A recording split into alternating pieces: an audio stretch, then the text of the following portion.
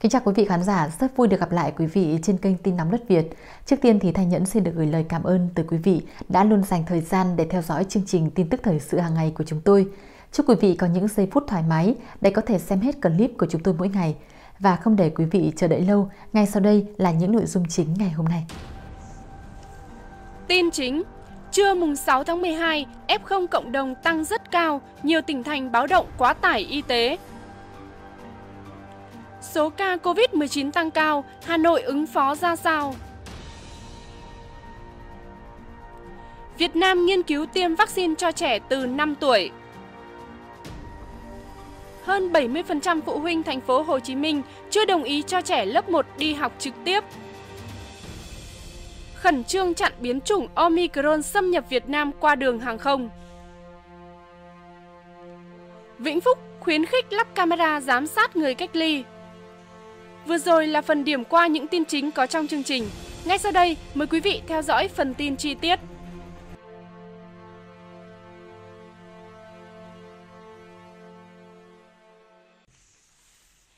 Sáng mùng 6 tháng 12, F0 Cần Thơ tiếp tục vượt 1.000 ca, Thừa Thiên Huế tăng cao. Thưa quý vị và các bạn, những ngày gần đây, Cần Thơ luôn là địa phương có ca mắc mới cao nhất vùng, mỗi ngày đều trên 1.100 ca. Thừa Thiên Huế ghi nhận ca mắc COVID-19 cao nhất từ trước đến nay, đặc biệt là các ca cộng đồng. Hà Nam phát hiện 5 F0. Theo Trung tâm Kiểm soát Bệnh tật tỉnh Hà Nam, trong ngày 5 tháng 12, trên địa bàn tỉnh Hà Nam chỉ ghi nhận 5 trường hợp có kết quả xét nghiệm dương tính với SARS-CoV-2. Trong số 5 trường hợp ghi nhận, có 2 bệnh nhân từ Hà Nội về Hà Nam. 3 trường hợp còn lại là F1 của các bệnh nhân đã được ghi nhận trước đó. Nam Định phát hiện 47 F0 mới. Theo thông tin từ Sở Y tế Nam Định, trong ngày 5 tháng 12, trên địa bàn tỉnh Nam Định phát hiện 47 trường hợp dương tính với SARS-CoV-2. Trong số 47 ca bệnh mới được phát hiện, có 10 ca tại huyện Hải Hậu, 22 ca tại thành phố Nam Định, 5 ca tại huyện Giao Thủy, 3 ca tại huyện Nam Trực, 1 ca tại huyện Mỹ Lộc, 2 ca tại huyện Ý Yên, 1 ca tại huyện Xuân Trường, 1 ca tại huyện Vụ Bản, 1 ca tại huyện Trực Ninh và 1 ca tại huyện Nghĩa Hưng. Thái Bình phát hiện 28 F0. Ngày 4 tháng 12, tỉnh Thái Bình ghi nhận 28 ca mắc SARS-CoV-2 mới tại 8 huyện, thành phố. Trong đó có 18 ca ở khu cách ly tập trung và 10 ca cộng đồng, gồm 6 ca ở huyện Đông Hưng, 3 ca ở huyện Quỳnh Phụ và 1 ca ở thị trấn Tiền Hải. Như vậy, đợt dịch cao điểm từ ngày 10 tháng 11 đến ngày 5 tháng 12, Thái Bình đã ghi nhận 1.268 ca mắc COVID-19. Thanh Hóa thêm 94 ca mắc mới. Ngày 5 tháng 12, Thanh Hóa ghi nhận 94 ca mắc COVID-19, trong đó 50 trường hợp phát sinh trong tỉnh, 44 trường hợp trở về từ các tỉnh, thành phố khác đang cách ly theo quy định.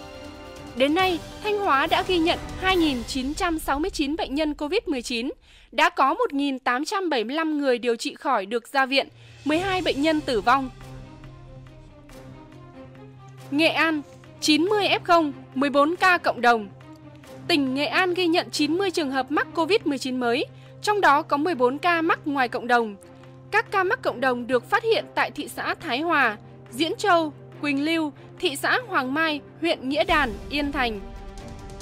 Trong ngày, tỉnh Nghệ An có 106 bệnh nhân COVID-19 được công bố khỏi bệnh và ra viện, không ghi nhận ca tử vong. Hiện còn 1.047 bệnh nhân đang điều trị. Hà Tĩnh ghi nhận 10 ca mắc mới. Sáng ngày 5 tháng 12, Hà Tĩnh ghi nhận 10 ca mắc COVID-19, tất cả đã được cách ly trước đó. Tính từ ngày 4 tháng 11 đến nay, Hà Tĩnh phát hiện 695 ca mắc COVID-19, số bệnh nhân đang điều trị là 345 người. Quảng Bình phát hiện thêm 46 F0, riêng một công ty 25 ca. Ngày 5 tháng 12, Quảng Bình phát hiện 46 ca dương tính với SARS-CoV-2, trong đó có 25 ca được phát hiện tại một công ty ở huyện Bố Trạch. Trong ngày, tại Quảng Bình cũng có thêm 37 bệnh nhân COVID-19 khỏi bệnh và xuất viện. Đến nay, Quảng Bình đã ghi nhận tất cả 2.783 ca mắc COVID-19, trong đó có 2.440 người đã khỏi bệnh và xuất viện, 316 người đang tiếp tục được điều trị. Quảng Bình đã triển khai tiêm được trên 908.000 mũi vaccine phòng COVID-19. trong đó có trên 376.000 người đã tiêm đủ 2 mũi. Quảng Trị, 4 trường hợp mắc COVID-19. Ngày 5 tháng 12, tỉnh Quảng Trị ghi nhận thêm 4 trường hợp dương tính với SARS-CoV-2 được phát hiện qua giám sát cộng đồng tại phường Đông Lương, thành phố Đông Hà và thị xã Trung Giang, huyện Gio Linh. Đến nay, tỉnh Quảng Trị ghi nhận 1.099 trường hợp mắc COVID-19, đang điều trị 302 người. Trong ngày, địa phương có thêm 16 trường hợp khỏi bệnh. Thừa Thiên Huế, hai ngày liên tiếp có số ca mắc COVID-19 tăng cao kỷ lục. Cụ thể, ngày 4 tháng 12, Thừa Thiên Huế có 339 ca dương tính với SARS-CoV-2, trong đó tại cộng đồng là 212 ca, cao nhất từ trước đến nay. Cho đến tối mùng 5 tháng 12, tỉnh này tiếp tục ghi nhận thêm 305 ca mắc COVID-19, trong đó phát hiện tại cộng đồng là 171 ca. Đáng chú ý, những ca bệnh tại cộng đồng hay là F1 đang cách ly tại nhà được phát hiện nhiều tại thành phố Huế, trung tâm tỉnh Thừa Thiên Huế. Theo lãnh đạo thành phố Huế, qua 5 ngày thực hiện tuần cao điểm tầm soát COVID-19, từ 29 tháng 11 đến mùng 3 tháng 12, thành phố Huế đã phát hiện 1.062 ca dương tính với virus SARS-CoV-2. Qua phân tích số liệu, tình hình F0 trong cộng đồng vẫn còn khá nhiều, nên lãnh đạo thành phố Huế đề nghị người dân cùng chung tay thực hiện tốt các biện pháp 5K, khẩu trang, khử khuẩn, khoảng cách, không tập trung, khai báo y tế, Đồng thời, hạn chế ra khỏi nhà nếu không cần thiết, không tập trung đông người và chủ động mua và sử dụng test nhanh để phát hiện virus. Trong ngày, Cần Thơ có 1.163 ca mắc mới, An Giang 15 ca tử vong. Ngày 5 tháng 12, Cần Thơ ghi nhận 1.163 ca nhiễm SARS-CoV-2, nâng tổng số ca mắc lên 31.957 ca, đã điều trị khỏi 14.506 người. Trong ngày, địa phương này có 5 ca tử vong, nâng số ca tử vong lên 240. Sóc Trăng có 789 ca mắc COVID-19, trong đó số ca nhiễm qua truy vết sàng lọc có 520 ca cộng đồng. Số ca cộng dồn là 21.835, đã điều trị khỏi 14.050. Trong ngày, 5 ca tử vong, nâng tổng số lên 127 ca. Bến Tre ghi nhận thêm 692 trường hợp dương tính với SARS-CoV-2, trong đó có 674 ca cộng đồng. Tổng số ca mắc cộng dồn là 10.757, ca điều trị khỏi là 4.845, số ca tử vong cộng dồn 70. Đồng Tháp ghi nhận 690 ca mắc COVID-19 mới, trong đó 205 ca cộng đồng. Tổng số ca mắc cộng dồn là 25.220 ca đã điều trị khỏi 17.376. Trong ngày, tử vong 5 ca, nâng số ca tử vong lên 304 ca. Vĩnh Long ghi nhận 544 trường hợp nghi nhiễm, trong đó có 219 ca cộng đồng. Trong ngày, thêm 6 ca tử vong, nâng tổng số ca tử vong lên 111 ca. Bạc Liêu có 398 ca có kết quả RT-PCR khẳng định dương tính với virus SARS-CoV-2. Trong đó, 227 ca cộng đồng, số ca tử vong trong ngày 3 ca, nâng tổng số ca tử vong lên 138 trường hợp. An Giang ghi nhận 345 trường hợp mắc COVID-19, điều trị khỏi bệnh 138 trường hợp. Tổng số F0 từ ngày 15 tháng 4 đến nay là 25.098 trường hợp. Trong ngày có 15 trường hợp tử vong, lũy kế bệnh nhân tử vong là 483 ca. Riêng trong 3 ngày qua, mùng 3, mùng 4 và mùng 5 tháng 12, An Giang ghi nhận số ca tử vong lần lượt là 20, 19 và 15. Tổng số tổng cộng 3 ngày là 54 ca tử vong. Kiên Giang phát hiện 364 F0, trong đó 151 ca cộng đồng. Tổng số ca mắc cộng dồn là 22.205 ca điều trị khỏi là 18.490. Trà Vinh phát hiện 212 F0 mới, trong đó có 166 ca cộng đồng. Đến nay, tỉnh này đã ghi nhận 9.246 ca mắc COVID-19, có 42 ca nhập cảnh, đã điều trị khỏi 3.478 trường hợp, ca tử vong cộng dồn 55 ca. Tiền Giang có 257 ca F0, trong đó 33 ca cộng đồng, 224 ca trong khu cách ly. Đến nay, tỉnh này đã ghi nhận 25.788 ca mắc COVID-19, đã điều trị khỏi 20.457 trường hợp. Trong ngày có 10 ca tử vong, nâng tổng số ca lên 585 ca. Hơn 70% phụ huynh thành phố Hồ Chí Minh chưa đồng ý cho trẻ lớp 1 đi học trực tiếp. Thưa quý vị và các bạn, kết quả khảo sát của Sở Giáo dục và Đào tạo thành phố Hồ Chí Minh cho đến ngày 5 tháng 12, chỉ có 29,82% phụ huynh đồng ý cho con đi học trực tiếp. Mới đây, Sở Giáo dục và Đào tạo thành phố Hồ Chí Minh đã tổ chức khảo sát lấy ý kiến của phụ huynh về việc cho trẻ lớp 1 đi học trực tiếp từ ngày 13 tháng 12. Thống kê được tổng hợp từ các phiếu thăm dò lấy ý kiến của phụ huynh trong buổi họp của 565 trường tiểu học. Tổng số học sinh lớp 1 là hơn 131.200 em. Số người tham gia cho ý kiến là 121.700. Trong đó, có 36.316 phụ huynh đồng ý cho con học trực tiếp, chiếm 29,82%. Hơn 85.400 người không đồng ý, chiếm hơn 70%. Còn một số trường ở nội thành chỉ có 10 đến 20 phụ huynh đồng ý cho con đi học như Đống Đa, Bến Cảng, Đinh Bộ Lĩnh, Nguyễn Huệ 1 ở quận 4, Trần Quang Diệu, Trần Quang Đăng, quận 3. Các trường ở ngoại thành có số phụ huynh tán thành thấp, dưới 20 người, gồm Trung Lập Thượng, Nhuận Đức, Nhuận Đức 2, An Nhơn Tây, thị trấn Củ Chi 2, huyện Củ Chi, Lý Nhơn, Đồng Hòa, huyện Cần Giờ.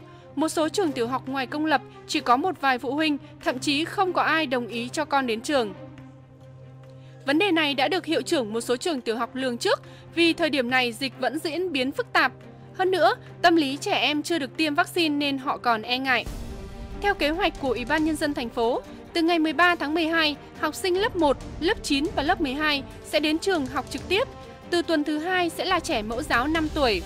Đối với huyện Cần Giờ, trường mầm non Thạnh An, trường tiểu học Thạnh An, trường trung học cơ sở, trung học phổ thông Thạnh An học trực tiếp ở tất cả các khối lớp từ ngày 13 tháng 12 2021.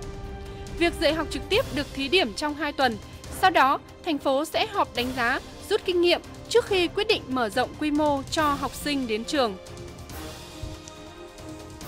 Số ca COVID-19 tăng cao, Hà Nội ứng phó ra sao? Thưa quý vị và các bạn, trao đổi với báo chí, bà Trần Thị Nhị Hà, Giám đốc Sở Y tế Hà Nội cho biết, số ca bệnh COVID-19 tăng cao là điều thành phố đã lường trước trong bối cảnh mở cửa, thực hiện chủ trương thích ứng an toàn, linh hoạt. Như đã thông tin, liên tiếp trong những ngày gần đây, Hà Nội ghi nhận số ca dương tính SARS-CoV-2 rất cao, ở ngưỡng 400 đến 600 ca trên ngày. Trong đó, cao nhất là ngày 4 tháng 12 với 628 ca bệnh. Trao đổi với báo chí về việc tăng nhanh các ca mắc COVID-19 trên địa bàn thành phố, Giám đốc Sở Y tế Trần Thị Nhị Hà cho biết, thành phố chuẩn bị các phương án kịch bản cụ thể để luôn chủ động trong công tác phòng chống dịch, tránh bị động bất ngờ. Thành phố đã chỉ đạo lực lượng y tế các tuyến kiên định với phương châm điều tra, truy vết, khoanh vùng, cách ly, dập dịch, xét nghiệm để sớm phát hiện ca F0 trong cộng đồng và điều trị sớm cho người bệnh. Thành phố phân các tầng điều trị F0 với tầng 1 là tuyến y tế cơ sở tại các nhà. Tầng 2 gồm 19 bệnh viện đa khoa cấp huyện do thành phố phụ trách. Tầng 3 là các bệnh viện tuyến thành phố, hạng 1 và tuyến trung ương. Trong kịch bản ứng phó đã được xây dựng, nếu thành phố ghi nhận 10.000 ca nhiễm, tầng 1 tăng lên 9.200 giường, tầng 2 có 600 giường, tầng 3 là 200 giường. Với kịch bản 40.000 ca nhiễm, các tầng điều trị lần lượt tăng số giường lên 36.800 giường, 2.400 giường và 800 giường. Trường hợp ca nhiễm lên 100.000, thành phố chuẩn bị tổng cộng 92.000 giường ở tầng 1, 22.100 giường tại các cơ sở thu dung điều trị và 69.900 giường tại các trạm y tế lưu động thuộc quận, huyện, thị xã, 6.000 giường ở tầng 2 và 2.000 giường ở tầng 3. Theo bà Hà, ở giai đoạn trước, Hà Nội chủ yếu cách ly tập trung F1 và điều trị F0 tại các cơ sở y tế của thành phố, trung ương. Ở giai đoạn hiện nay, Hà Nội đã chuyển hướng cho phép F1 và F0 thể nhẹ, không triệu chứng, đủ điều kiện được cách ly và tự điều trị tại nhà. Quy định cơ sở vật chất để cách ly F1 và điều trị F0 tại nhà cơ bản giống nhau. Qua giả soát bước đầu, có khoảng 780.000 hộ gia đình đủ điều kiện cách ly F1 tại nhà theo hướng dẫn của Bộ Y tế. Mỗi F0 điều trị tại nhà sẽ được cài app để mỗi ngày hai lần điền thông tin chỉ số sức khỏe của bản thân. Phần mềm được kết nối với trung tâm điều hành để nhân viên y tế theo dõi, kịp thời chuyển tầng điều trị nếu F0 có dấu hiệu bất thường. Các tổ COVID-19 cộng đồng, tổ chức đoàn thể như thanh niên, cựu chiến binh, phụ nữ cùng theo dõi, giám sát F0 tại nhà qua hệ thống công nghệ thông tin. Những trường hợp F0 thể nhẹ song không đủ điều kiện để điều trị tại nhà sẽ được chuyển đến tuyến y tế cơ sở, trạm y tế lưu động ở xã, phường, thị trấn. Các xã, phường, thị trấn được yêu cầu thiết lập bình quân mỗi đơn vị một trạm y tế lưu động có ít nhất 150 giường bệnh. Toàn thành phố có 579 đơn vị hành chính phường, xã, thị trấn, tổng số giường bệnh là hơn 86.000.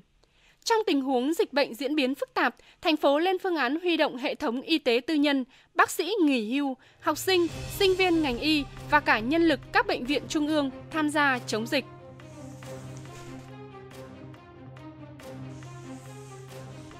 Vĩnh Phúc khuyến khích lắp camera giám sát người cách ly.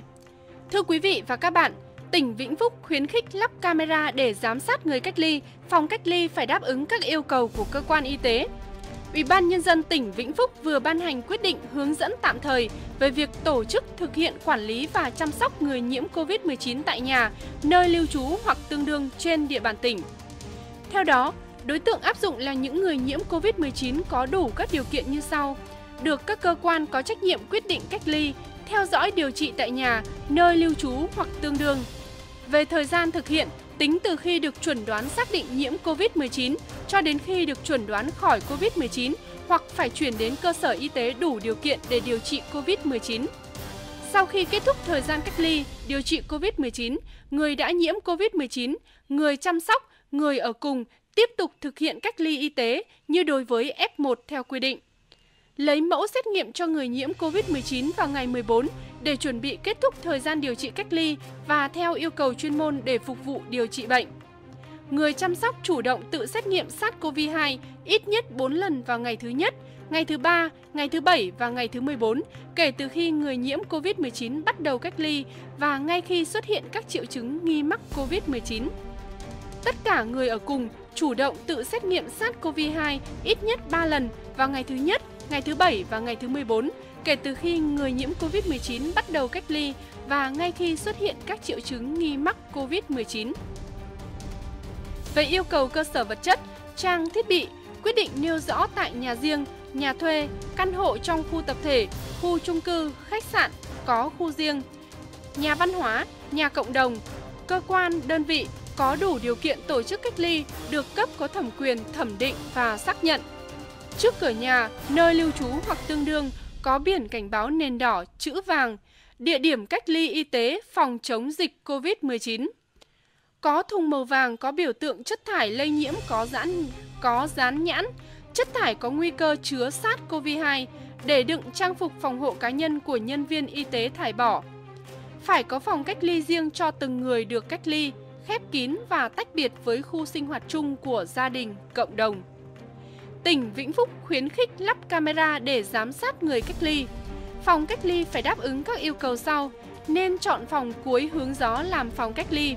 Phải có các khu vệ sinh, khu nhà tắm dùng riêng, có đủ dụng cụ vệ sinh cá nhân, xà phòng rửa tay, nước sạch, dung dịch sát khuẩn tay chứa ít nhất 60% cồn, có dụng cụ đo thân nhiệt cá nhân trong phòng. Trong phòng cách ly có thùng đựng chất thải, có màu vàng, có nắp đậy, mở bằng đạp chân, có lót túi màu vàng để đựng chất thải gồm khẩu trang, khăn, giấy lau mũi miệng, có dán nhãn chất thải có nguy cơ chứa SARS-CoV-2, thùng đựng chất thải sinh hoạt có nắp đậy, mở bằng đạp chân và có lót túi bóng màu xanh để đựng chất thải sinh hoạt khác. Việt Nam nghiên cứu tiêm vaccine cho trẻ từ 5 tuổi. Thưa quý vị và các bạn, Đầu tháng 11 2021, Trung tâm Kiểm soát và Phòng ngừa Dịch bệnh Hoa Kỳ CDC đã đưa ra khuyến cáo chính thức về việc tiêm chủng vaccine ngừa COVID-19 cho trẻ em từ 5 đến 11 tuổi.